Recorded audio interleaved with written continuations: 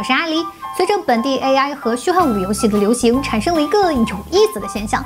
目前 DIY 玩家显卡预算已经快占到整体预算的七到八成。游戏本只要价格合适，把显卡提上去，即使其他配件缩水，一样能够被接受。但如果你玩的游戏类型比较杂，有模拟器呀、MMO 呀、电竞游戏的需求，那么 CPU 的重要性就不言而喻了。而近年在 CPU 赛道上，算游戏玩家选 M D，尤其是 M D 的 X3D 系列搭载旗舰显卡，已经快成为共识。但与此而来，也出现了另一种声音，那就是 X3D 虽然帧数高，但抽帧顿卡现象严重。X3D 系列因独特的 CCD 结构和缓存设计，想要发挥最佳性能，往往需要玩家手动调试。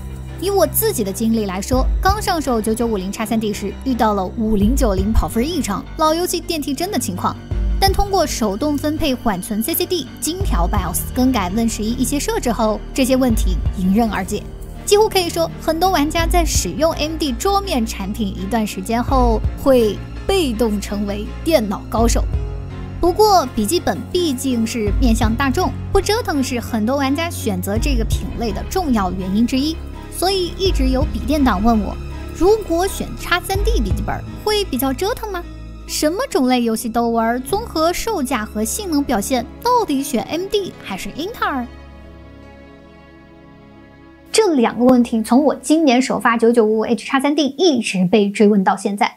我想最主要的原因是 X3D 大五零七零 i 笔记本在很多吃 CPU 的游戏能够对战非 X3D 大五零八零的笔记本，可以以下课上。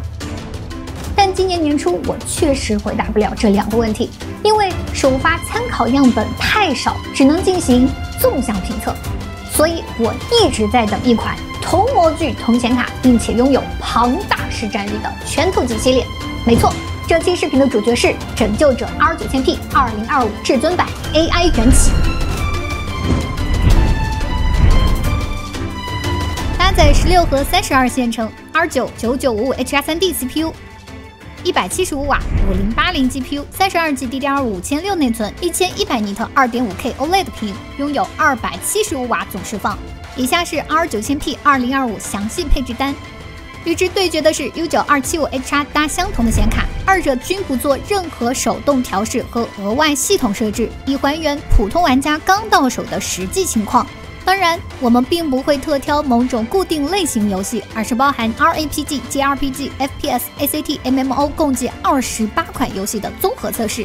首先是纯 GPU 受限型游戏，我们可以看到，相较于 U9275H、995H3D，确实不会带来明显的质变，提升都在百分之十以内，也就是几帧的差距。考虑到价格，偏好 GPU 受限型的玩家确实可以把预算给到显卡。但我们并不能武断地说三 A 英特尔电竞 MD，很多三 A 是名副其实的双受限游戏，其中博德之门九九五 H3D 领先了百分之五十，提升幅度丝毫不亚于连升两档显卡。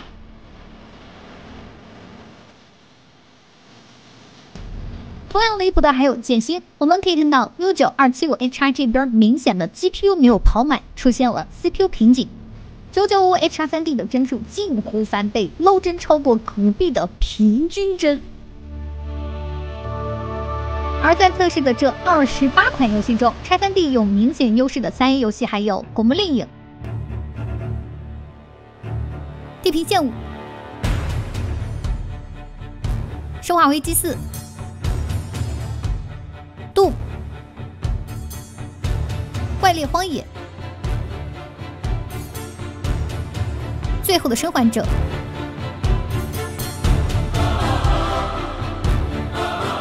明末，天国拯救，使命召唤，消失的光芒，寂静岭。均是超高知名度、受众极为广泛的明星级三 A。至于电竞游戏和大型 MMO，那只能说均是翻倍、翻倍、再翻倍。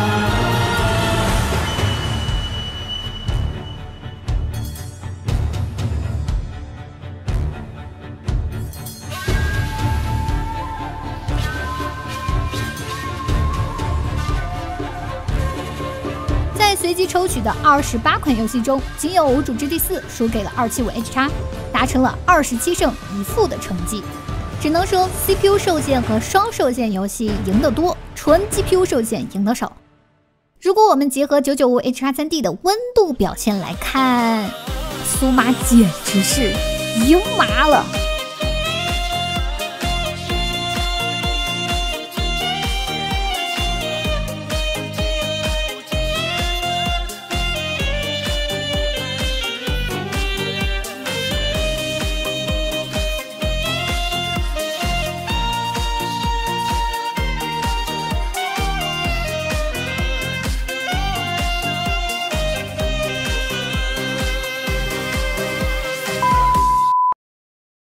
也许有观众好奇了，九九五五 H 叉三 D 在笔记本端会不会只是看着高，玩起来有各种小卡顿呢？大家有这种担忧也很正常，因为叉三 D 平均帧率特别高，笔记本又是 CPU、GPU 互抢功耗的设定，但凡电源策略调的有那么一丁点儿的不稳定，玩家就能够感知到掉帧。但从我的实际测试来看，只能说不愧是拯救者做的调教。想搞清楚这个问题，最直观的方式就是拉一个 log 曲线。我们可以看到，CS2 中995 HR3D 的帧间隔延迟整体是低于 U9275 HR 的。侧面能看出，CS2 其实优化的非常好，二者最高波动也不会超过十毫秒。而 DOTA 二情况就发生了变化。我们可以看到，现版本 DOTA 2随着地图面积和特效增加，无论是 IU 还是 AU，团战时都会剧烈波动抽帧，曲线就像在坐过山车。其中275 HR 有四次波动到三十毫秒以上，995 HR3D 出现了五次。而 PUBG 的表现，如果以帧数警犬的标准来看，275 HR 简直是抽麻了。反观995 HR3D 版的 R9000P，近乎一条直线。由此，我们大致可以得出一个结论：如果一个游戏优化有问题，无论用啥 U 都会抽帧顿卡。只是叉三 D 系列平均帧很高，会加强你的坡度感；但如果优化很不错，叉三 D 只会让丝滑感更上一层楼。除了游戏，很多观众也比较关心生产力，而实际结果是，吃多核的几乎被九九五 H 三 D 爆杀。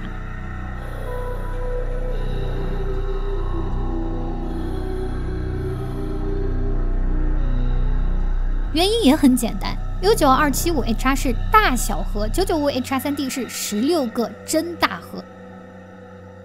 如果是以媒体的眼光来看，叉三 D 版本的 R 九千 P 表现简直是绝杀。但消费者视角和媒体是不同的，媒体吹爆的 Luna Lake 市场反应很一般，头都快被骂爆的 Ultra 反而销量异常火爆。从个人观察来看，除了少数富哥富婆，大多数消费者并不会追求极限，而是在性能满足需求的同时，希望价格能够更加友好。R 九千 P 二零二五至尊版的优势在于顶级的调教和大厂售后。对于不了解 PC 的观众来说，不用各种折腾，出厂啥都给你设置好了，入手后即可享受叉三 D 和五零八零带来的顶级性能。如果你是高预算玩家，真心可以将其列入考虑范围。但目前叉三 D 最大的问题还是在于售价。你会发现，哪怕是主打线上的笔记本，入手叉三 D 的成本都在小一万，且很多地区买本已经没有国补了。所以，对于普通消费者来说，虽然叉三 D 很强吧，现实只能买八八四五 H 甚至十三代、十四代 i 五配五零六零的笔记本。如果 AMD 后续能出一款八核心带大容量三级缓存 CPU 给到笔记本 OEM，用来搭配五零六零、五零七零，定价六到七千元，那它一定能成为面向主流玩家的王道级产品。以上就是本期视频的全部内容啦！喜欢我的视频记得点赞加关注哦！最后祝您身体健康，再见。